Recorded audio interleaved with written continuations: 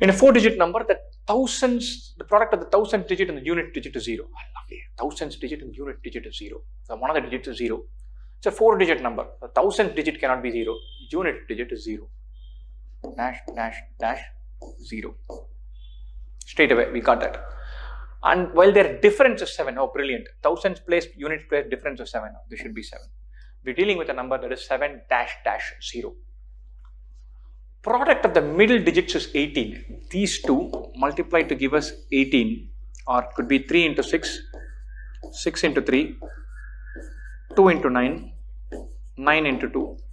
It cannot be 18 into 1 because we're dealing with digits. The thousandth digit is as much more than the unit digit as the hundredth digit is more than the tens.